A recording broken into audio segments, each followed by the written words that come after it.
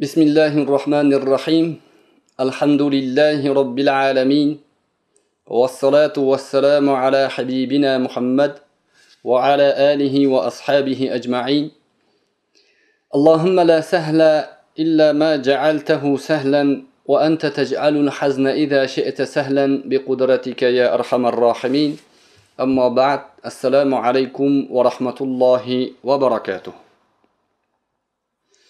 alloh subhanahu va taoloning inoyati bilan bugun navbatdagi e, suhbatimizni mana boshlayapmiz. Mavzu ifk hodisasi deb nomladik. E, bu hodisa islom tarixida juda katta shov shuvga sabab bo'lgan va juda katta hikmatlar ortidan keltirgan va juda katta musulmonlar uchun obro' yetkazgan hodisalardan biri hisoblanadi. Qur'oni karimda alloh subhanahu va taolo aynan ifk hodisasiga atab o'nta oyat nozil qilib uning qiroatini tilovatini qiyomatga qadar davom etishligini ta'minlagan hodisalardan biri hisoblanadi. Ifk lug'atda bo'xton tuhmat so'z o'yini qilish ya'ni so'zni burib gapni boshqa tomonga aylantirib bir kishining obro'siga tajovuz qilish ma'nolarini o'z ichiga oladi. Ifk deb arablar shuni aytadi. Ya'ni bu ifk e, hodisasidagi e, bo'lgan voqealar e, aynan shu bo'xton tuhmat va bir e, pokiza insonni yomon otliq qilishga urinilgan bir kompaniyani e, o'z ichiga olgan Э, hodisa bo'lganligi uchun alloh subhanahu va taolo bu hodisani ham qur'oni karimda ifk deb zikr qilgan. Arab tili lug'atiga ko'ra demak ifk bu e, shu ma'nolarni o'z ichiga oladi. Nur surasida alloh subhanahu va taolo hali aytganimizdek e, o'n birinchi oyatdan boshlab yigirmanchi oyatgacha undan keyingi ham bir ikkita uchta oyatlarni aynan shu hodisalarga atab nozil qilgan. Qur'oni karimda e, oldin ba'zi suhbatlarimizda aytganimizdek oyatlar e, aksar oyatlar hech qanday sababsiz shundoqcha nozil bo'lgan. Lekin ba'zi oyatlar yoki e, bir qism oyatlar ma'lum bir hodisalarni yechimi o'laroq nozil bo'lgan. Ba'zan payg'ambar sollallohu alayhi vasallamdan bir narsani so'rashsa uning javobiga oyat nozil bo'lgan bo'lsa buni ham sababi nuzul deyiladi. Va undan tashqari ba'zi hodisalar yuzaga chiqib buning yechimiga butun ummat hmm, bosh qotirib turgan paytida payg'ambar sollallohu alayhi vasallamni ham tashvishga tashvishga solgan paytida haq subhanahu va taolo oyat nozil qiladi va o'sha oyat o'sha ummat ustida bo'layotgan tashvishlarni yechimiga xizmat qiladi. Bu hozirgi ifk e, hodisasi bo'xton hodisasi e, sifatida yuzaga kelgan voqealarni ham e, oyati karimalar sababi e, bir hodisaning sababi sifatida nozil bo'lgan. Shuning uchun hozir agar biz qur'oni karimni o'zidan e, man zikr qilgan yoki ishora qilgan oyatlarni o'qib ma'nosini aytsam eshitgan odam hech narsani tushunmaydi. Nima haqida gap ketayotganligini kimlar haqida gap ketayotganligini e, to'la qonlik anglab tushunib ololmaydi shuning uchun ham bu oyatlarning tushish sabablarini hadisi shariflardan o'rgansak keyin oyatlardagi asl mm, maqsad va asl hadaf bizlarga ko'rina boshlaydi. Imom buxoriy va boshqa muhaddislarimiz imom abu dovudda bor imom muslimlar e, rivoyat qilgan hadislarda bu hodisalar ya'ni ifk hodisasi to'g'risidagi rivoyatlarning deyarli barchasi oisha onamizning e, roziyallohu anho o'zlaridan rivoyat qilingan. Oysha onamiz roziyallohu anho payg'ambarimiz sollallohu alayhi vasallamning jufti halollari mo'minlarning onasi hisoblanadilar. Oysha onamiz haqlarida gap yuritadigan bo'lsak ummatni ichidagi e, eng peshqadam ustozalardan murabbiyalardan hisoblanadilar. Payg'ambarimiz sollallohu alayhi vasallam dunyodan o'tganlarida yosh holda qolganlar va ma'lum bir rasululloh sollallohu alayhi vasallamdan keyin ummatning e, juda katta qismiga ta'lim tarbiya ishlarida o'zlari bevosita ishtirok etganlar. U zot abu bakr siddiq roziyallohu anhuning qizlari bo'ladilar. E, rivoyatlarda 6 yoshlarida payg'ambarimiz sollallohu alayhi vasallamga vahiy orqali vahiy ishorasi orqali nikohlanganlar va payg'ambarimiz sollallohu alayhi vasallam 9 yoshlarida u kishini o'zlarini e, duxul qilganlar ya'ni uylariga olib kirganlar. Bu hodisa to'g'risida ham oysha onamizga nisbatan tuhmat uyushtirishib payg'ambar sollallohu alayhi vasallamni hadaf ko'rsatib u zotni qoralamoqchi bo'lib buni ortidan islomni yomonlamoqchi bo'lganlar aynan shu hodisa to'g'risida ham ancha til uzatarli gaplarni gapirishgan iloyo ularni tillari kesilsin. Va qiyomatga qadar bularni mm, qarshisida islom ummatining ulamolari o'zlariga yetarli raddiyalarni berib kelishgan va bundan keyin ham albatta berib borishadi. Oysha onamiz roziyallohu anho bu hodisaning asl qahramoni hisoblanadilar. Ya'ni ifk hodisasi bo'xton hodisasi tuhmat hodisasi qoralash kampaniyasini ilk qahramoni oysha onamiz roziyallohu anho hisoblanadilar. Zotan dushman islomga musulmonlarga hujum qiladigan razil razolat egalari e, bir tashlandiq insonlar odatda shunaqangi nozik tomonlardan islom e, ummatiga musulmonlarga hujum qilishlikni qadimdan e, amalga oshirib kelishgan. Bu hodisa aynan mana shu biz e, hozir o'rganmoqchi bo'lgan hodisa oysha onamiz ramzida bizgacha yetib kelgan va qiyomatga qadar shu oysha onamizga bo'lgan tuhmatning misollari yuzaga chiqishligini ishorasi bo'lgan va ularga qanday javob ko'rsatishlik kerakligini ummatga alloh subhanava taolo shu hodisa orqali o'rgatgan. Xullas biz umumiy xulosalarni tarjimalarni e, ma'nolarni ayta qolamiz arab matnlariga kirishmasdan e, zerikarli bo'lmasligi uchun. Lekin biz aytmoqchi bo'lgan aytayotgan hodisalarning barchasi hali aytganimizdek sahih to'plamlarda bor. Ya'ni oysha onamizning o'zlaridan rivoyat qilingan hodisa hisoblanadi. Imom buxoriyda imom muslim va hammasini yig'ishtirib e, bir, birlari zikr qilmagan hodisani ikkinchilariga qo'shib ma'nosini aytamiz. Oysha onamiz aytadilar. Bani mustaliq e, g'azoti bo'lgan payg'ambar sollallohu alayhi vasallam ummat bilan katta bir askar jamoa bilan borib g'azotdan qaytib kelishayotgan paytida deydilar oysha onamiz e, shu safarga chiqishdan oldin ayollari o'rtasida rasululloh sollallohu alayhi vasallam safarga chiqishlik uchun qur'a tashlaydilar. Ayoli ko'p odamlar safar masalasida ayollarga adolat ma'nosida bu safarga sizni olib ketaman ikkinchi safarimga narigi ayolim sizni olib ketaman deyilmaydi. Fiqh shundan olinadiki safarga ketishlikda avval ulardan e, o'z roziligini so'raladi. Agar yo'q man boraman man boraman degan o'rtada kelishmovchilik bo'lsa qur'a tashlanadi. Payg'ambarimiz sollallohu alayhi vasallam ayollari orasida qur'a tashladilar deydilar oysha onamiz roziyallohu anhu. Qur'a oysha onamizga chiqdi. Ya'ni aytadilarki manga chiqdi qur'a. O'sha g'azotga man ketdim payg'ambar alayhissalom bilan. Hali e, u qur'a tashalish paytida e, u hajob oyatlari e, nozil bo'lgan ya'ni payg'ambar alayhissalomning oilalari va muslimalar mo'minalar begona erkaklardan qochib ularga e, holi holda qolmasdan ular bilan yuzma yuz ko'rishmaslik e, haqidagi oyatlar nozil bo'lgan davrlar edi deydilar. Bu davrlarga kelib oysha onamiz safarga payg'ambar alayhissalom bilan birga chiqar ekanlar. Havdach degan narsa bor. Havdach e, to'rt kishi to'rt tomonidan xuddi tobutga o'xshagan narsa faqat usti berk narsa.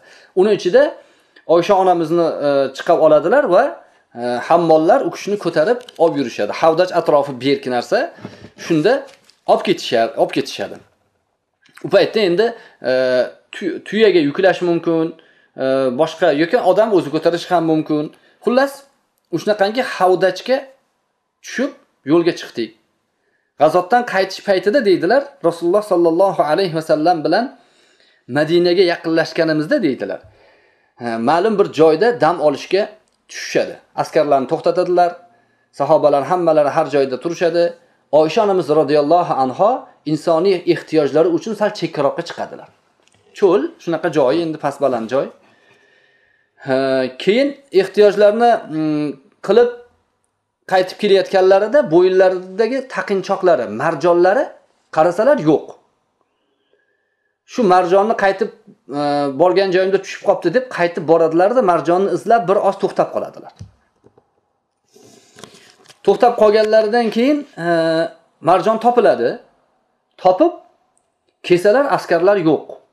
Hamma yo'lga tushib ketib yuborgan.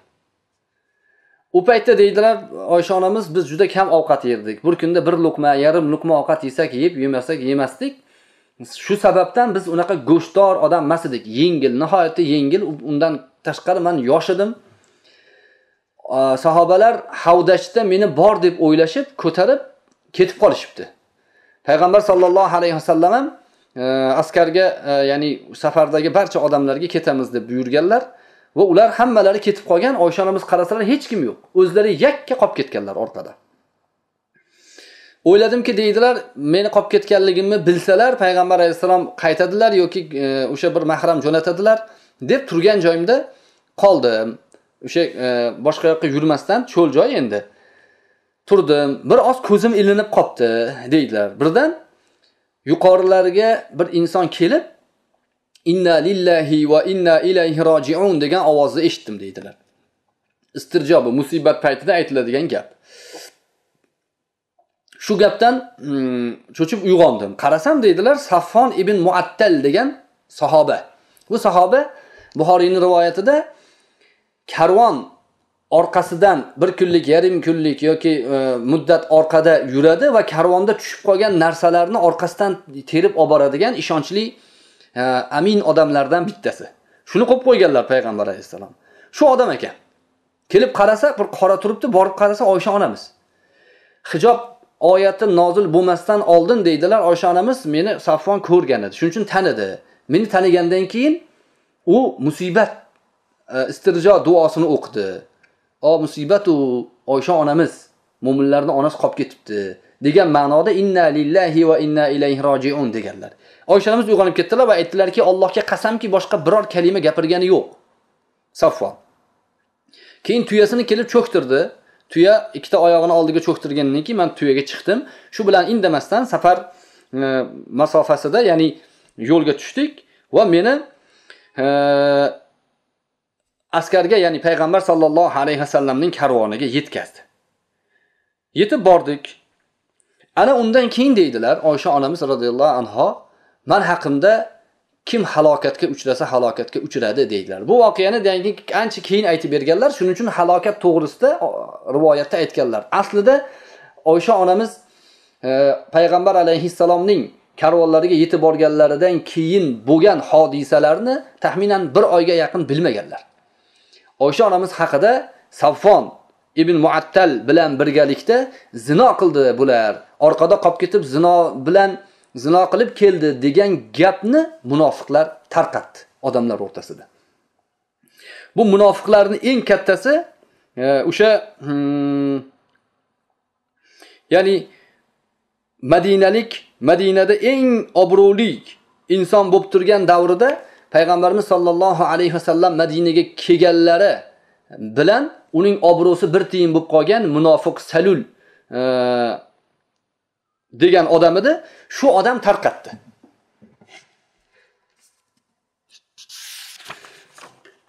Va bu gap shunday tezlikda tarqadiki odamlar o'rtasida oysha onamiz to'g'rilarida judayam gap ko'payib ketdi. Hatto ba'zi musulmonlar ham avs va hajrat qabilasining katta katta odamlari shular ichida ba'zi insonlar ham bu gapga qalblariga ko'ngillariga shubha g'ulu tusha boshladi. G'ulg'ula tushdi. Hamma har xil gapni gapirishni boshladi. Odamlar ichida gap qaynab ketdi. Gapni qaynashli qaynatadigan o'sha munofiqlar edi aslida. U munofiqlar ham bu to'g'risida juda qattiq gaplarni gapirishni boshlashdi. Oysha onamiz aytadilar man e, madinaga kelganimdan keyin kasal bo'lib qoldim.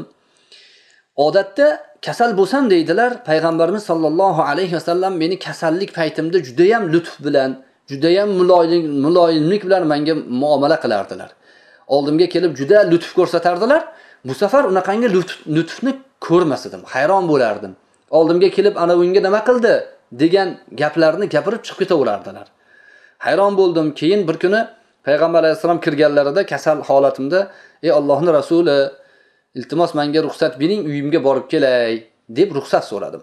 Shunda payg'ambar sollallohu alayhi vasallam mayli borib kel dedilar deydilar va oysha onamiz o'zlarini uylariga abu bakr siddiq roziyallohu anhuni ya'ni dadalarini e, hovlilariga ketdilar. Hovliga borib e, borsam u joyda ham e, manga nisbatan har xil qarashlar xullas ummu mistoh degan bu ummu mistoh degan ayol oysha onamiz bilan ba'zi sirlarni sirlashib yuradigan ba'zi narsalarda ko'maklashib turadigan maslahat olib turadigan bir ayol. O'sha bilan biz e, yana insoniy hojatlar bo'yicha chekaroqqa chiqdik birgalikda. Qaytib kelishimizda ummu Mustohning kiyimi uzunroq edi o'shani bosib yiqilib tushdi. Yiqilib tushgan paytida aytdiki e, halaka e, mistah dedi. Mistah halok bo'ldi deb gapirdi. U mistah badrda qatnashgan sahobalardan. Ahli badr. Ahli badr haqida boshqa oyatlarda juda katta bashoratlar bor. Ahli badr jahannamga tushmaydi degan mm, bashoratlar bor. Mistoh halok bo'ldi deganda deydilar oysha onamiz juda yomon gap gapiryapsan. Badrda badrda ishtirok etgan odamni ham halok bo'ldi deysanmi?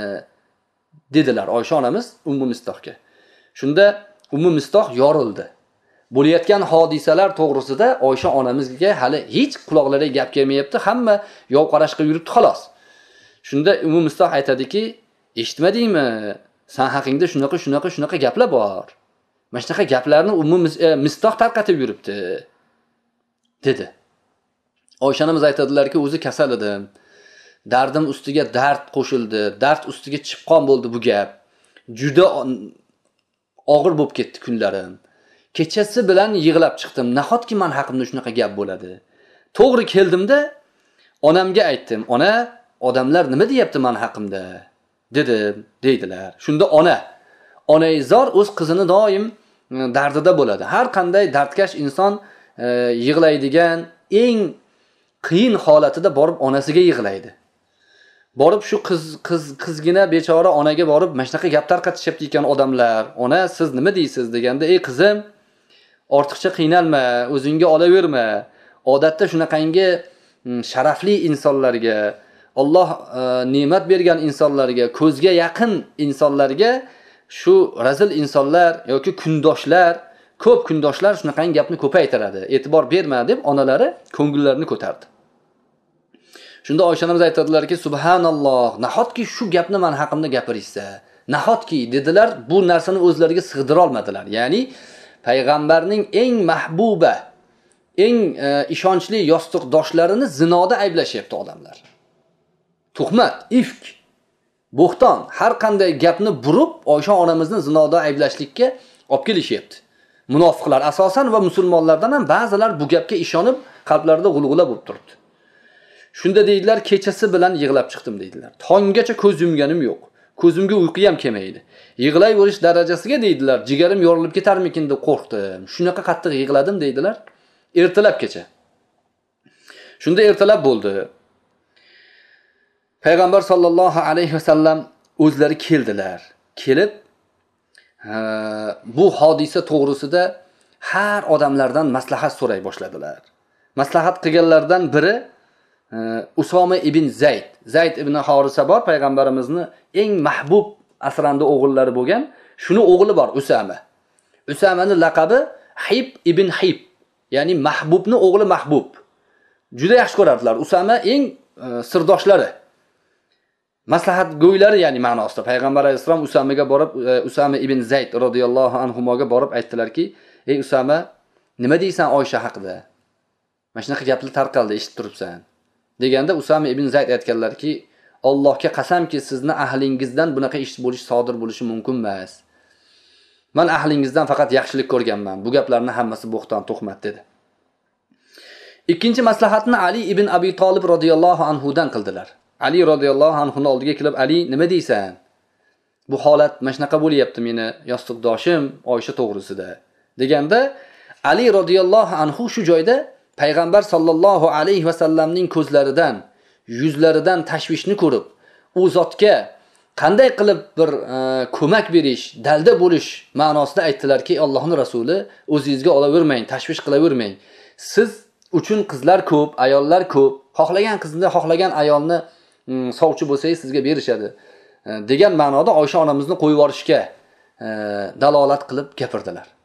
Mana shu gap keyinchalik ham oysha onamiz roziyallohu anhoni ali roziyallohu anhuga nisbatan shaxsiy ma'noda mm, ozgina e, o'rtalarida sovuqchilikka sabab bo'lgan. Lekin e, taqvo yuzasidan alloh subhanava taolo bergan e, bir iymon vijdon sofligi sifatida oysha onamiz bilan ali o'rtalarida ham shunaqangi har xil to'polonlarni chiqarishga uringan munofiqlarga oysha onamiz keyinchalik yaxshi adabini berganlar. Bir kishi kelib ali haqida nima deysiz? deb oysha onamizga aytganda alini payg'ambarimiz e, meni do'stim degan payg'ambar do'sti bo'lgan odam haqida nima deyman yaxshi odam u deganda a sizni ifk voqeasida payg'ambarimizga qo'yib yuboravering degan u deganda u shaxsiy narsa u meni u bilan adovat bilan meni e, qalbimni unga nisbatan dushmanlikka burolmaysan deb bu bergan odamni urishib berganlar. Ana ikkita odamdan so'raganlarini oysha onamiz aytadilar. Keyinchalik ayollari ichida zaynab binti jahsh roziyallohu anhodan ham so'raganlar. Oysha onamiz aytadilarki kundoshlarim ichida man bilan e, musobaqalashadigan husnda nasabda e, mandan o'zini ustun qo'yishga harakat qiladiganlardan biri zaynab edi. Zaynab binti jahsh. Imkoniyat tug'ilgan edi meni qoralab olib meni yomon qilib yuborishlikka o'sha holat bo'lganda ham zaynabni qalbidagi taqvo e, shunaqangi shaxsiy adovatdan foydalanish shaxsiy g'arazini qondirib olishlikka imkoniyat tug'ilganda ham qalbidagi taqvo bilan yo sizni ahlingiz oyishada bunaqa narsa bo'lishi mumkin emas deb payg'ambarimizni ko'ngillarini ko'tardi. Endi rivoyatlar boshqa yana turli rivoyatlar bor. Hazrati usmon roziyallohu anhudan so'raganlari haqida bor. Usmon roziyallohu anhudan so'raganlarida usmon roziyallohu anhu aytgan ekanlarki ey ollohni rasuli sizga alloh subhanahu va taolo e, makruh e, bo'lgan narsalarni badaningizga tegizmay qo'ygan. Bit burga kana shunga o'xshagan nopok narsalar hatto chibin pasha ham payg'ambar alayhissalotu vassalomga qo'nib u kishiga ozor bermasdi. Rasululloh sollallohu alayhi vasallamning hech e, bitga o'xshagan bir nopok narsalar rasulullohga tegmas edi usmon roziyallohu anhu aytdilarki shunday nopok narsalarni sizga tekkizishlikni xohlamagan olloh Oishani badanini sizga tekkizish xohlarmidi agar u zinokor bo'lsa deganlar. Mana usmon roziyallohu anhudan shunaqangi rivoyat bor. Umar roziyallohu anhudan ham so'raganlari haqida rivoyatlar bor. Umar roziyallohu anhuga kelib umar nima deysan oysha haqida gaplarga? deganlarida umar roziyallohu anhu osmonga qarab subhanaka hada buhtanun azim deganlar. Ey olloh seni poklab yod qilaman. Bu haqiqiy ulug' azim bo'xtonlardan biri deganlar va xuddi shu kalimalar bilan hali biz yuqorida ishora qilganmiz nur surasidagi oyatlar nozil bo'lgan. Ho'p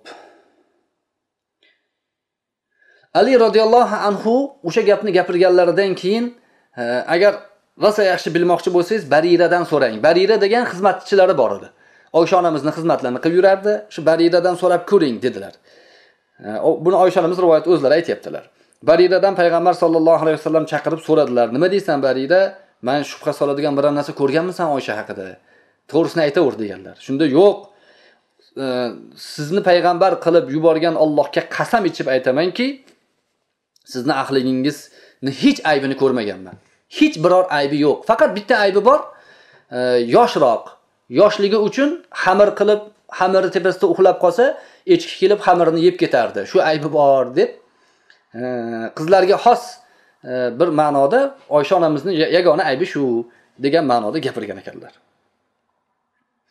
Payg'ambar sollallohu alayhi vasallam shu so'rayaptilar. Mana e'tibor bering butun boshli islom ummatining rahbari rasululloh sollallohu alayhi vasallamni ayollari orqali qora otlik yomon otlik qoralash uchun urinayotgan munofiqlarning fitnasidan rasululloh sollallohu alayhi vasallam xotirjamligini yo'qotdilar.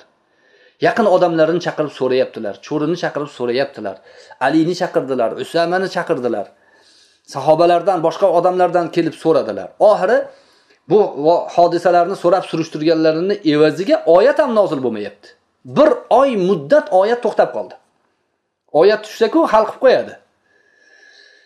Shunda sahobalardan so'rab asosiy guvohlikda oysha onamizning pok ekanlarini o'zlari ham biladilar va guvohlikni olgandan keyin masjidga odamlarni chaqirib mehrobda turib xutbada turib hammaga aytdilar bu tuhmatni bu bo'xtonni tarqatgan odam mandan kechirim so'rasin shuni kim ta'minlaydi menga dedilar o'sha ubay ibn salul.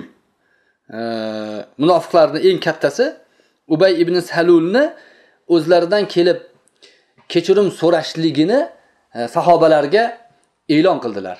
Kimdir borib olib kelsin mandan kechirim so'rasin degan ma'noda. Shunda e, sahobalar yig'ilib turgan sahobalar ichida usayd ibn huday roziyallohu anhu o'rnidan turib aytdilarki e, u kishi hazrat qabilasini eng kattalaridan raislaridan. Hazraj qabilasi bilan avs qabilasi o'rtasida eski qadimgi nizo bo'lardi. Rasululloh sollallohu alayhi vasallam kelib bu nizoga barham toptirgandilar. O'rtada birodarlik rishtalarini bog'lab tashlagan edilar.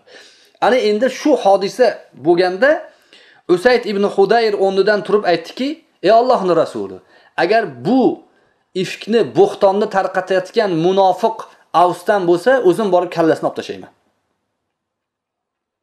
agar hazrashdan meni qabilamdan bo'ladigan bo'lsa siz buyuring nima aytsangiz o'sha ishni qilaman dedi. Ko'pchilik ichida mehrobda masjidda odamlar to'plangan xutbada bo'layotgan hodisa. Shunda hazratchiliklarni boshlig'i saad ibn uboda o'rnidan turib aytdiki e, ya'ni usayd ibn huzayrga qarab aytdi. Yolg'on gapirding dedi. Allohga qasamki ya'ni mm, hazratchiliklardan biror kishini san o'ldirolmaysan qo'lingdan kelmaydi dedi. Chunki biz bormiz biz senga qo'yib qo'ymaymiz dedi.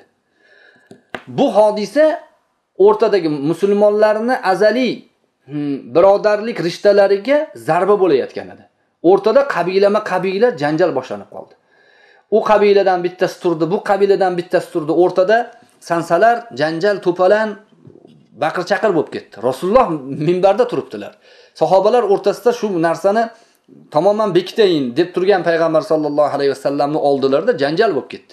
Shunda rasululloh sollallohu alayhi vasallam mehrobda turib ularni bosdilar. To'xtanglar to'xtanglar dedilar. Va o'sha kuni ham hodisa amalga oshmadi. Man rasulullohni qilayotgan ishlarini olayotgan tashvishlarini muammolariga qarang butun ummatni e, bitta tuhmat bir dona asosi bo'lmagan munofiq odam tarqatib yuborgan tuhmat orqasidan qanaqangi vaziyatga tushib qolishdi? Shu bilan payg'ambar sollallohu alayhi vasallam hamma jim bo'lgandan keyin minbardan tushdilar. O'sha kechasi ham deydilar oysha onamiz kechasi bilan yig'lab chiqdim deydilar. Yig'layvergan oqibatda judayam e, kasalim ortib ketdi deydilar. Payg'ambar sollallohu alayhi vasallam endi oxirgi e, maslahat oysha onamizni oldilariga kirdilar. Kirib oldilariga o'tirdilar. Ya'ni abu Bakrning uylarida radhiyallohu anhu. Oysha onamiz aytadilarki anchadan burun kelib oldimda o'tirmay qo'ygandilar. Kirib tashahhud aytdilar. Tashahhud aytgandan keyin oysha onamizga qarab muloyim tarzda aytdilarki ey oysha dedilar. Beayb parvardigor agar san ayb qilgan bo'lsang tavba qilgin dedilar. Agar aybsiz bo'lsang albatta seni olloh oqlaydi dedilar. Chunki banda gunohni e'tirof qilsa dedilar. Bir banda o'zini gunoh qilganini e'tirof qilib allohga ey alloh man gunoh qildim gunohlarimni kechirgin desa alloh subhanava taolo uni gunohlarini kechiradi. To'g'risini ayt bu ish sanda san haqingda shu bo'layotgan gaplar naqadar haqiqat? Gapir dedilar. O'sha onamiz aytadilarki judayam bu gap ta'sir qildi. Ko'zimdan quyilib yosh judayam alamda turgan edim. Rasulullohni shu gaplarini eshitgan zahotim yoshim taqa taq to'xtadi deydilar. Onamga qaradim deydilar. Ona man nima deyay? Siz ayting siz gapiring dedim deydilar. Shunda onalari aytadilarki man nima deyman qizim? San haqingdagi hodisani sandan so'rayapti allohni rasuli. O'zing javob ber dedilar. Oysha onamiz aytadilarki endi dadamga qaradim abu bakrga dada bir narsa deng nima deyman? Dedim deydilar. Hammaga maslahat berib yuradigan hammaga yo'l ko'rsatadigan abu bakr siddiq roziyallohu anhu ham yelkalarini qisdilar. Man nima deyman qizim? dedilar. O'zing javob ber. Allohning rasuli so'rayapti sendan seni hodisangni seni gapingni man qanday qilib man gapiraman? dedim deydilar. Oysha onamiz shunda aytadilarki man yoshman. Hali qur'ondan ko'p narsani bilmayman. Lekin deydilar. Agar bir narsani e'tirof qilishim kerak bo'lsa e'tirof qilamanki man aybsizman dedi. Meni aybim yo'q dedi. Man de, dedilar. Oysha onamiz aytadilarki olloh meni oqlashligini bilaman. Shuning uchun e, o'zimni hozir oqlab o'tirmayman. E'tirof qilishim kerak bo'lgan yagona narsa man hech qanaqangi aybim yo'q. Meni faqat bir dona aytadigan gapim bor. Yusufning otasi aytgan gapni gapiraman. Yusufning otasi aytgan ediki fasobrun jamil vallohu musta'an ala ma tasifun degan oyat bor. Yusuf alayhissalomning e, quduqqa tushib ketganlarida borib aka ukalari bo'ri yeb ketdi yusufni. Deganda fasobrun jamilni aytgandilar. Eng katta musibat o'g'lini yo'qotgan otaning e, payg'ambarning maslagi. O'sha maslakni tutaman dedilar oysha onamiz. Fasobrun jamil man go'zal chiroyli sabr qilaman. Vallohu musta'an ala ma tasifun. Sizlar meni sifatlayotgan narsa to'g'risida man Allohdan yordam so'rayman. Alloh yordam beruvchi zot dedim deydilar va borib to'shaklariga yotib oldilar. Shunda deydilar o'sha uyimizni ichida turgan odamlardan hech kim ko'chaga chiqmasdan turib payg'ambar sollallohu alayhi vasallamga vahiy kelishi boshladi. Rasululloh sollallohu alayhi vasallamga o'sha yuqorida aytganimiz o'nta oyat nozil bo'ldi. Va oyat nozil bo'lishdagi holat yuzaga keldi. Va o'sha vahiy e, holatdan chiqqanlaridan keyin birinchi qilgan ishlari kulimsaladilar. Manga qarab aytdilarki oysha allohga hamd ayt. Olloh seni e, oqladi. Dedilar. Shunda onam e, xursand bo'lgandan endi bunaqangi holatlarda ona xursand bo'ladi. Farzandiga tuhmat bo'lib turgan paytida farzandi oqlansa eng birinchi xursand bo'ladigan zot demak ona bo'ladi. Xullas oysha onamiz xursand bo'ldilar. E, man dedilar hech kimga turmayman bunaqa paytda. E, man faqatgina Allohga hamd aytaman. Chunki meni Alloh pokladi. Dedilar. Xullas oysha onamiz roziyallohu anhoni e,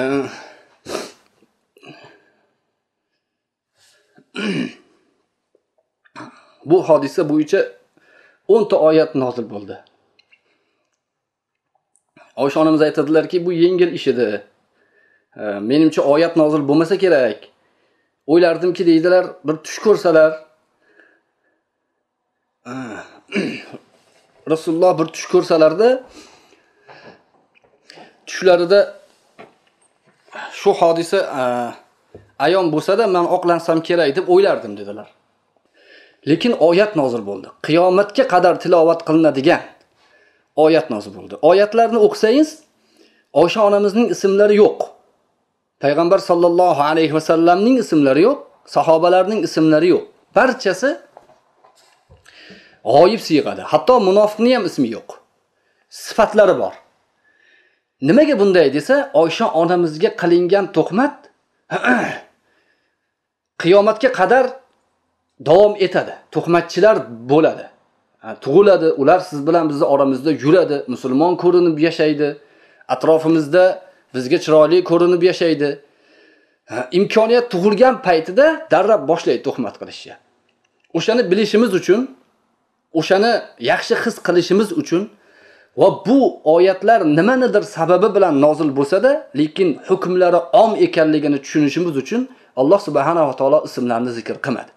Oysha onamiz haqida payg'ambar sollallohu alayhi vasallamning tashvishga tushganlari haqida sahobalardan ba'zilari bu tuhmatga aralashib bilmasdan gapirib qo'yganligi haqida munofiq yaramas iflosni bu tuhmatni tarqatganligi haqidagi ishoralarni nozil qildi.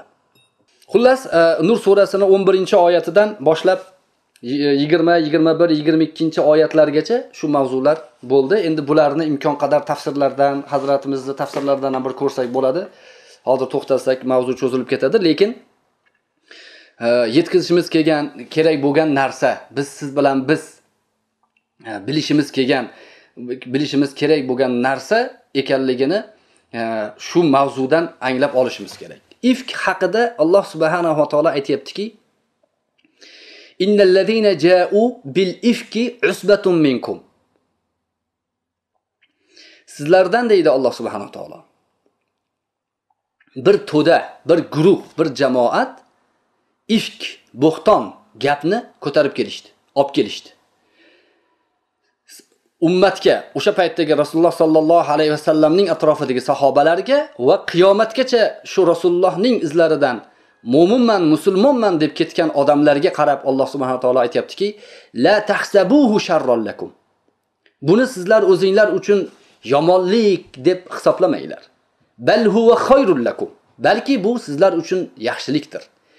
Likulli imri'in minhum maktasaba minal ithm o'sha guruhdan o'sha to'dadan har bir bu mavzuga bu to'xmatga bu bo'xtonga aralashganlar o'ziga yarasha nasiba e, bir gunohini oldi.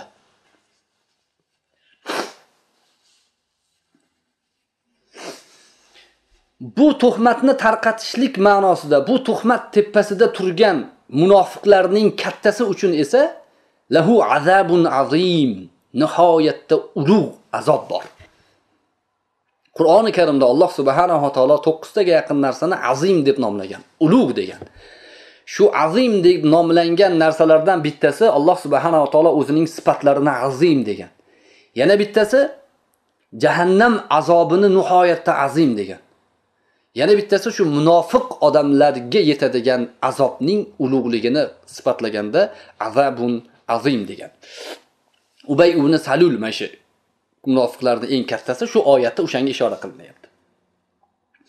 Va davomida alloh subhanava taolo mo'minlarga tavsiya beryapti. Ey mo'minlar deb degan ma'noda.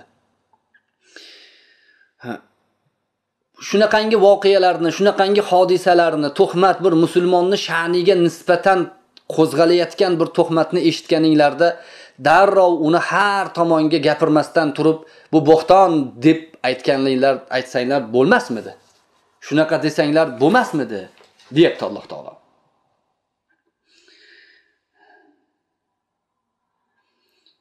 Ifk tuhmatchilar to'rtta guvoh keltirsalar bo'lmasmidi? Deyapti.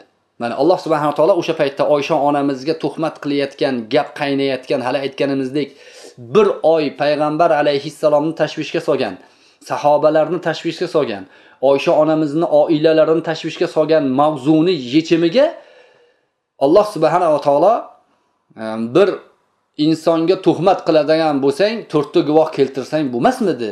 To'rtta guvohni olib kela olsanglar bo'lmasmidi? deyapti ya'ni oysha onamizni zinoda ayblagan odamlar to'rtta guvoh keltira olmasligi aniq. To'rtta guvohi bo'lmagandan keyin aytayotgan gaplarini hammasi puch ekanligini bilsalar bo'lmasmidi degan ma'no bor tagida. Yana alloh taolo oyati davomida Allohning rahmati bo'lmaganda edi bu tuhmat yuzasidan kim shunga ishtirok etsa juda katta alamlantiruvchi azobga tiqishi ularni ustiga bir balo yuborishi mumkinligini ham eslatib Allohning rahmati sizlarga kengligi uchun bu sizlarga bir e, dars sifatida bo'lsin degan ma'nolarni aytyapti. Mana oyatni davomida valaula iz sami'tumuhu qultum ma yakunu lana an natakallama bihadha subhanaka hadha buhtanun azim bu gaplarni eshitganinglarda sizlar bu bunaqa gaplarni gapirishimiz to'g'ri emas desanglar bo'lmasmidi? Subhanaka hava buhtanun azim. Ey pok parvardigoro bu haqiqiy ulug' bo'xtonlardan biridir desanglar bo'lmasmidi? Deyapti. Va oyatning davomida shu e, hodisalarni alloh subhanava taolo bizlarga bildiryapti. Demak ifk e, hodisasi ifk to'g'risidagi oyatlarni e, biz o'qib bu suhbatimizdan keyin bir borib o'qib ko'rishligimizni ham tavsiya qilamiz. Ko'pchiligimizda tafsir kitoblari bor. E, shu bilan birga islom uz saytimizda ham siyrat uz saytimizda ham bu hodisa to'g'risida chiroyli e, e, payg'ambar sallallohu alayhi vasallamning hodisalari bo'lgan ifk e, voqealari sahobalar orasida bo'lgan hodisalar shunga to'xtalgan rahmatli ustozimiz shayx hazratlarini e, shu mavzu to'g'risida maqolalari bor. Buni ham bir o'qib ko'rishinglarni tavsiya qilamiz. Demak bu hodisadan keyin shu oyatlar nozil bo'lgandan keyin oysha onamiz roziyallohu anho juda xursand bo'ldilar. Hali aytganimizdek ularga bo'lgan tuhmatlar e, odamlar o'rtasida bu tuhmatni oqlashlikka hech kimni kuchi yetmay turgan paytida alloh subhanahu va taolo o'zi e, aralashdi. Va bu mavzu bo'yicha e, munofiqlarni og'zini yopdi shu bilan munofiqlar e, munofiqligini bildirib oldi. Ulamolar juda ko'p shu shu e, ifk voqeasidan keyin ifkdan ba'zi ulamolar aytadiki aybar min hadisatil ifk yoki fiqhu min hadisatil ifk degan ma'noda maqolalar qilishgan. Ilmiy izlanishlar qilishgan ifk hodisasidan e, ibratlar va olinadigan fiqhlar deb yuzdan oshiq foydalarni sanab chiqishgan. O'shalardan mm, ba'zilarini aytib chiqamiz aytib o'tamiz. Ifk hodisasi payg'ambar sollallohu alayhi vasallamning oilalariga nisbatan bo'ldi. Demak biz bilishimiz kerakki inson o'z oilasi orqali hujumga uchrashi mumkin ekan. Shuning uchun oilani mahkam tutishlik kerak. Ya'ni oilaga nisbatan e, nihoyatda himoyaga doim turish kerak. Erkak kishi o'z ahli ayolini har tomonlama himoyada bo'lishligi kerak. Xoh uni kiyimida xoh yemog'ida xoh ichmog'ida xoh kasal bo'lgan paytida ta'limida boshqa boshqa hamma narsasida erkak kishi uni himoyasida turish kerak. Ayol oilada qandaydir bir nuqsonga uchrasa erkakni sha'niga nisbatan dog' hisoblanar ekan. Bu bitta e, foydalardan bittasi. Yana foydalardan bittasi doim ayollar uyda o'tirish kerak degan e, ba'zi taassub kalimalar bilan ishlatadigan odamlarni gapiga raddiya bor ekan hodisada. Chunki oysha onamiz payg'ambar sollallohu alayhi vasallam bilan birga g'azotga bordilar. Ko'chaga chiqdilar. Albatta o'ziga qarab ya'ni e, ya'ni begona erkaklarga e, namoyishkorona emas o'zini ehtiyotini qilib eri bilan birga ko'chaga chiqishligi ko'cha aylanishligi hatto urushlarga payg'ambar sallallohu alayhi vasallam olib ketyaptilar. Safarlarga chiqishligi hodisasiga ham bu ifk voqeasidan olingan foydalardan biri. Keyin e, ayolini ayollarini o'rtasida safar ma'nosida tenglik degan narsa yo'q. Qur'a tashlab turib kimga qur'a tushsa shunga rozi bo'lib turib olib ketishligi mumkinligiga dalolat qiladi. Bu hodisalardan olingan foydalardan biri. Keyin qur'ani joizligi. Qur'a deb qur'a deb bir fazilatda yoki bir ne'matda yoki bir joyga borishlikda yoki masalan azon aytishlik ma'nosida odamlar o'rtasida talash bo'lib qolsa o'sha mavqe. Shunga qur'a bilan hamma roziligida bir narsa tashlaymiz kimga qur'a chiqsa o'sha shu voqeaga yoki safarga man bilan chiqadi deyishlik joizligiga ham bu hodisa dalolat qiladi ekan. Ha yana e, musibat paytida inna lillahi va inna ilayhi rojiunni aytishlik e, joizligiga ya'ni aytishlik fazilat ekanligi dalolat qiladi. Chunki safon ibn muattal roziyallohu anhu oysha onamizni orqada qolib ketganliklarini bilib ko'rganda buni musibat deb qabul qildi o'ziga va o'sha zahoti inna lillahi va inna ilayhi rojiunni aytdi. Va endi bugungi kunimizga e, ham eskirmay turgan o'sha ifk hodisasi bo'yicha musulmon odamlar ibrat olish kerak bo'lgan narsa har bir eshitgan narsasini o'sha zahoti tarqatib yubormaslik kerakligini. Chunki alloh taolo qur'oni karimda e, og'izni o'zi bilangina gapirib yuborishdi degan. Ya'ni uni aqliga solib ko'rmasdan qalbiga solib ko'rmasdan asl narsani bilmasdan beg'oyri ilm degan ilmsizlarcha mavzuni aslini bilmasdan tagini surishtirmasdan bir kishiga nisbatan tuhmat qilib yuborishlik e, nihoyatda xatarli ekanligini ya'ni munofiqlarning safidan e, o'rin olib qolishligi mumkinligi dalolat qiladi.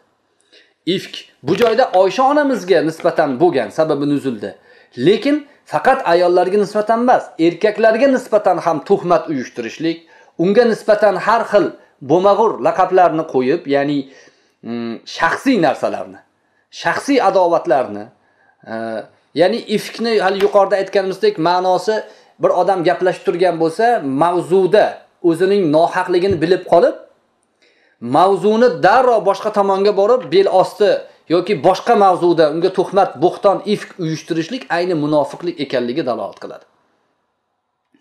Shu bilan birga e, laqab ma'nosini shu yerga to'xtab ketay. Ba'zilar e, facebookda bizni yaxshi bilganlar biladi. E, biz masalan besunnatlarni besunnat deganimiz ba'zi havorijlarni e, boshqa nom bilan ataganimizni bizga nisbatan laqabchi degan E, gapni e, gapirishadi. O'zi asl g'oya ma'nosida o'zini tutayotgan yo'lining botil ekanligini e, tan ololmasdan turib bunaqangi gaplarni gapirishadi. Bu mavzularda botil egalarini musulmon ummati yomon ko'radigan nom bilan nomlashlik payg'ambar sollallohu alayhi vasallam sunnatlarida bor. Havorijlarni payg'ambar sollallohu alayhi vasallam jahannam itlari deganlar. Yomon ism.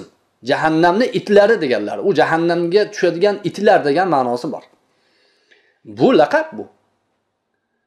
Shaxsiy adovatingizni laqabi noto'g'ri u to'g'ri.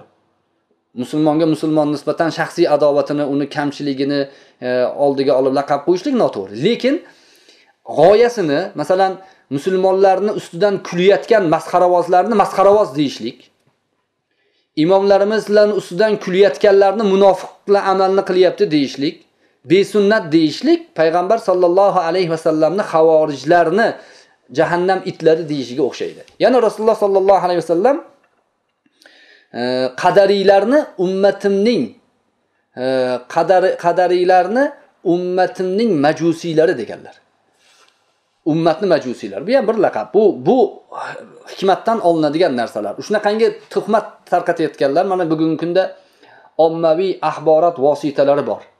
Ba'zilari amerikada ofis joylashgan ba'zilariniki pragada joylashgan ba'zilariniki eronda joylashgan yana ba'zilariniki u yoqda bu yoqda.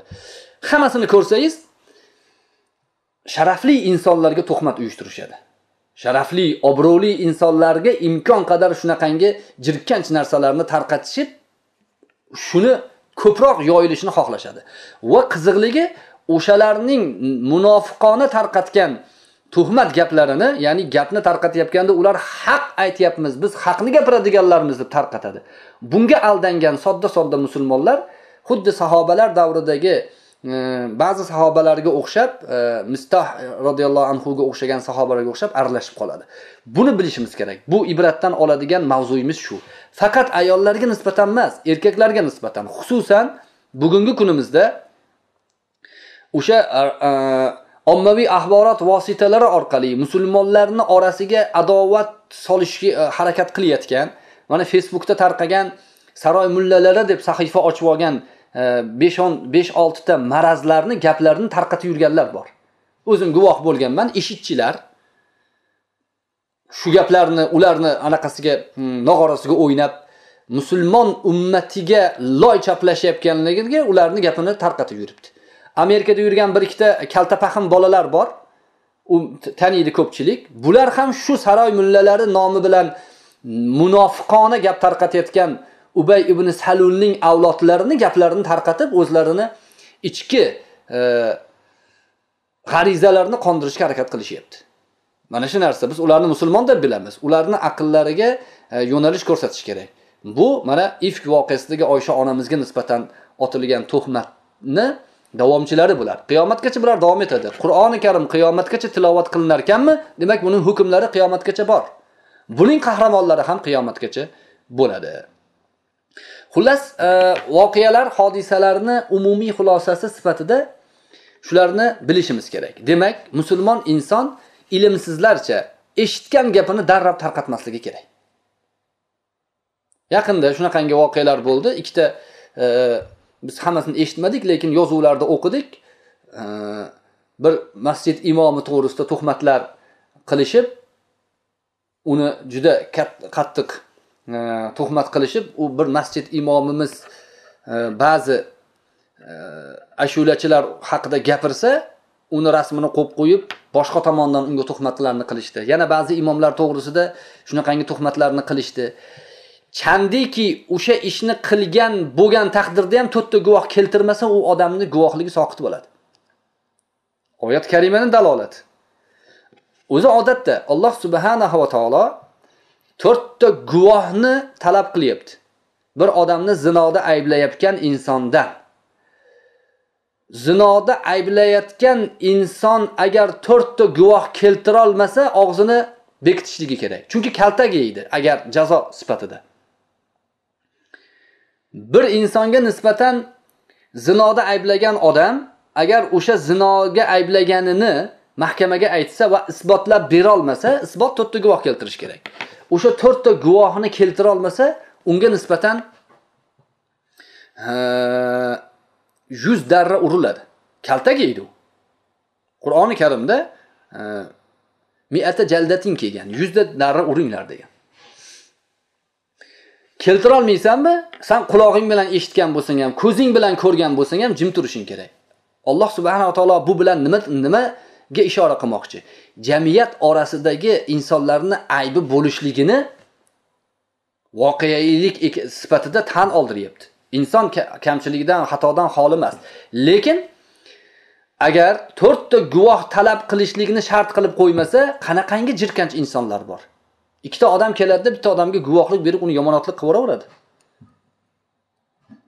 Siyosiy ma'noda repressiya davrida stalin davrida troyka degan narsa bo'lgan. Uchta odam guvohlik bersa olib borib otib yuborib o'shavergan troyka guvohlik beradi uch kishi bo'ldi otib yuborib o'rishgan jamiyat tamomiy inqirozga uchrab ketadi. Shuning uchun ham musulmon odam eng qattiq ibrat oladigan narsasi ilmsizlarcha gapirmasligi kerak. Eshitgan narsasini o'zini xulosasi bilan e, xulosalab gapirib yubormaslik kerak. Shuning uchun hazrati ali roziyallohu anhu aytganlarki agar deganlar johillar jim turganda edi ummat orasida fitna bo'lmasdi deganlar. Ummat orasidagi asosiy fitnalar musulmonlar orasidagi asosiy sovuqchiliklar johillarning minbarga chiqib olib o'zlarini ko'rsatib ummatni ustidan hukm o'qiyotganligi orqali kelyapti. O'tiring gaplashing o'sha e, chetda yurgan e, o'zini millatiga o'zini davlatiga o'zini xalqiga tosh otayotgan bilan o'tirib ko'ring gaplashib ko'ring. Nihoyatda saviyasiz odamlar. Shu joyda yana bir narsani aytib ketay biz ba'zida shunaqa gap gapirganimizda musofir yurgan birodarlarimiz musulmonlar millatdoshlarimiz e, xalqimizni ba'zi vakillari bizdan xafa bo'lmasliklari kerak. Chunki bu gapni gapirayotganimizda chetda yurgan juda ko'p odamlarni biz hurmatini joyiga qo'yamiz. Alloh subhanava taolo nomidan ularga nisbatan duo qilamiz. Alloh ularni tezroq yurtlariga kelib bag'rlariga qaytib ota onalariga xizmat qilib millatga xizmat qilsin deymiz. Bu joyda chetga chiqib va chetdagi qandaydir maxsus xizmatlarga o'zini sotib o'zini millatiga nisbatan tuhmat toshlarini otayotganlarga nisbatan xolos bunda aytayotgan gaplarimiz. Ya'ni xiyonat qilayotganlarga nisbatan. Demak biz bilishimiz kerak bo'lgan narsa o'sha musulmon odam ilmsizlarcha har xil gapni eshitib falonchi aytdiki demasdan ilm asosida bo'ladigan bo'lsa o'sha o'sha insonlarni ilmiga asosan u gaplarni eshitish kerak. Agar ilmingiz yo'q guvohingiz yo'q dalilingiz yo'qmi eng yaxshisi gapirmaslik kerak. Jim bo'lish kerak. Shunda ummat isloh bo'ladi. Ummat birlashadi. Mana shu bilan ummatni orasidagi adovat ko'tariladi. Chunki din dushmanlari musulmonlarning orasiga janjal qilishlik evaziga biznes qilishadi. Dunyoda eng katta davlatlardan beshta davlat eng ko'p qurol sotadigan davlat hisoblanadi. Bularni ichida amerika bor angliya bor fransiya bor germaniya bor rossiya bor. Katta katta qurol sotadigan davlatlar. Bu qurolni kimga sotadi? Faraz qiling yer yuzida urush yo'q. Qurol qayerqa sotiladi? Hech qayoqqa sotilmaydi. Urush bo'lmasa qurol sotilmaydi. Ho'p qurol sotish uchun nima qilish kerak? Urush chiqarish kerak. Urushni qanaqa chiqaramiz desa hozir urushga eng moyil xalq musulmonlar mana eshit degan bitta yaxshigina profil ishlab chiqarishdi va hamma yoqda urush qurol sotilib bemalol hamma e, biznesini qilib yotibdi. Lekin o'layotgan musulmonlar vayron bo'layotgan millat musulmon millat xarobaga aylangan davlatlar musulmon davlatlar. Arab bahori deyishdi. Qani bahor? Qani libiyada bahor? Qani tunisda bahor? Qani yamanda bahor? Qani suriyada? Qani iroqda bahor? Dabdalasini chiqarishdi hamma yoqni nima sababdan? Mana shu to'rtta beshta johilni johilligi sababidan. Ramazon butiyni kofir deyishdi. Musulmonlarni kofir deyishdi. Qazzofiyni kofir deganlar shu o'zlari ichidan chiqqan odamlar. Ularga qurol bergan u qurol sotadigan davlatlar. Demak shu. Biz nima qilishimiz kerak? Shunaqangi mayda e, saviyalik kallasi yaxshi ishlamaydigan qoni qaynab turib dushmandan bo'lsa ham qurol olib o'zini do'stini otayotgan odamlarni tilini qisishimiz kerak ularni qo'ldan tutishimiz kerak. Voy kallangni ishlat ko'zingni och deyishimiz kerak. Oysha onamiz roziyallohu anhoga nifoq gapini tarqatgan ubay ibn salul lekin sahobalardan ba'zilar aralashib qoldi. O'sha ma'noda ehtiyot bo'lishimiz kerak.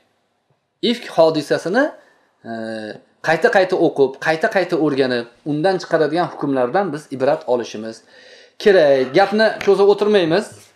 E, ishora qilamiz. Biz yuqorida aytganimizdek oldin ham gapirganimizdek bu mavzuni to'la to'kis yoritib bera oladigan ilmimiz keng emas. Tafsir hiloldan hadis va hayotda ham bor. Siyrat kitoblarimizda bor. Bulardan o'qib islom uz saytimiz siyrat uz saytimizda bor. Fiqh uzda ham bunga tegishli narsalar bor. Shulardan inshaalloh robbil alamin o'qib o'rganamiz ibratlarimizni olib borishimiz kerak. И shu gaplarimizni ya'ni mm, o'sha olgan ilmlarimizni tafsirlardan olgan ilmlarimizni olib e, o'zimiz atrofimizdagi odamlarga ko'rsatishimiz. Bunaqa gap gapiradigan bo'lsa ifk hodisasini eslatishimiz. Manga qara. Seni aytayotgan gapingda daliling bormi deydigan saviyaga chiqishimiz kerak. Shunaqa holat bo'lganda inshaalloh bu ummat e, eski izzatiga eski azizligi inshaalloh qaytadi. Alloh subhanava taolo e, bu suhbatimizdan xato nuqsonlarimizni o'zi avf qilsin. Payg'ambar sollallohu alayhi vasallamning sahobalaridan alloh taolo o'zi rozi bo'lsin. Bu hodisadan keyin abu bakr siddiq roziyallohu anhu oysha onamiz to'g'risida o'sha tuhmat gapga aralashib qolgan mistah roziyallohu anhuga yordam berib yurardilar. Qarindoshlari sal uzoqroq bo'lsa ham qarindosh. Qarindosh urug'chilik ma'nosida yordam berib yurardilar. Bu hodisadan keyin allohga qasam ichib aytamanki mistahga endi bir tiyin bermayman dedilar. Hech qanaqa yordam bermayman. Meni qizimga nisbatan tuhmat qildi deganlarida oyat nozil bo'ldi. O'sha oyatlarni davomida sizlardan e, fazil egalari e, Alloh olloh bergan fazlni e, falonchiga bermayman deb qasam ichmasin. Olloh uni kechirishligini yaxshi ko'rmaydimi degan ma'noda oyat nozil bo'lganda bu gap abu bakr siddiq roziyallohu anhu haqlarida nozil bo'lganini eshitib abu bakr siddiq aytdilarki e, allohga qasamki olloh meni kechirishligini yaxshi ko'raman.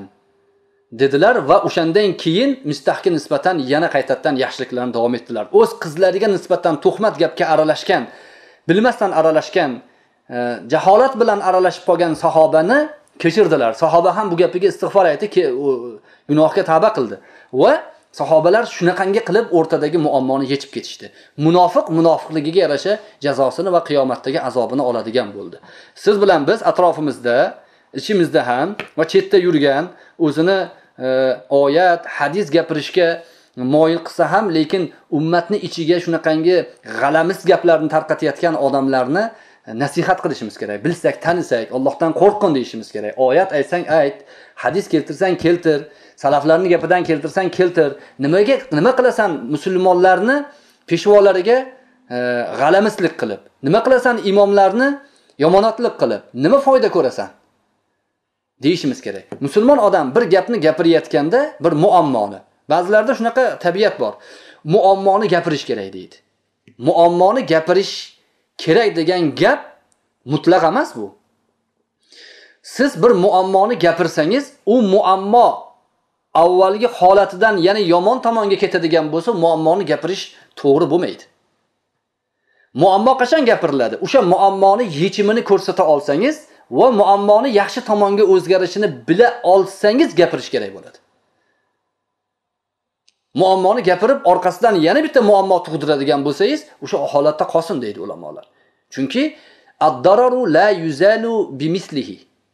Zarar o'ziga o'xshagan zarar bilan ketkazilmaydi. Bir zarar bo'lib turibdi. U zararni ketqizaman deb yana bitta zarar keltirsangiz yangi zarar odamlar oldingiga ozgina o'rganib turib to'xtab turavering deydi ulamolar. O'sha zarar turaversin kerak emas siz zararingiz deyishadi. Shu bir. O'zini haqdor ko'rsatib man haqparvarman deb e, sayrayvermaslik kerak. Haqni gapir muammoni hal qilsang gapir. Muammoni hal qiladigan saviyada bo'lsang gapir. Ko'pini basharasi yo'q. Imomlarni gapiradi. O'sha saroy mullalari degan sahifa bor. Shuni layk bosgan tuppa tuzuk musulmonlar bor. Olinglar laykinglarni u yerdan uni, qoralanglar qayerda bo'lsa uni e, munofiqlar yuritayotganligini nahotki ko'rmayapsizlar? Ifk hodisasini qahramonlarini bolalari ular. Ubay ibn salulni davomchilari o'sha saroy mullalarini yurg'izayotgan yana o'sha pragada yoki amerikada ofis ochib olib musulmonlarni e, ichini g'alamislik gaplarni kiritayotganlar. Ulardan ehtiyot bo'lishimiz kerak. Biz millatimizni yurtimizni musulmonlarimizni tashvishini biz qilmasak ular hech qachon tashvish qilmaydi. Siz o'ylaysizki e, amerika bizni yaxshi bo'lishimizni uni siyosatda birinchi o'rinda emas u. U amerikani do'sti bo'lmaydi manfaati bo'ladi. Biz o'zimiz uchun o'zimiz harakat qilishimiz kerak. Shu bizni vazifamiz shu. Shuning uchun jon kuydirishimiz kerak shuning uchun yashashimiz kerak shuning uchun oldinga chiqishimiz kerak qo'limizdan kelsa. Qo'limizdan kelmasa jim bo'lishimiz kerak. Ba'zi insonlarni jim turishi ummat uchun katta foyda hisoblanadi. Shu mana voqeani hodisani qisqacha ishorasini qildik. Alloh subhanava taolo aytgan gaplarimizga e, amal qilishimizda o'zi tavfiq bersin. Ikki dunyo saodatiga erishadigan amallarimizga o'zi muvaffaq qilsin. Ummat orasida e, muhabbatni o'zi ziyoda qilsin. G'alamislarga alloh taolo o'zi insof bersin. Agar insofga loyiq bo'lmasa alloh taolo o'zi kifoya qilsin. Shu bilan bu suhbatimizni to'xtatamiz. Endi inshaalloh robbil alamin savol javoblarga o'tamiz.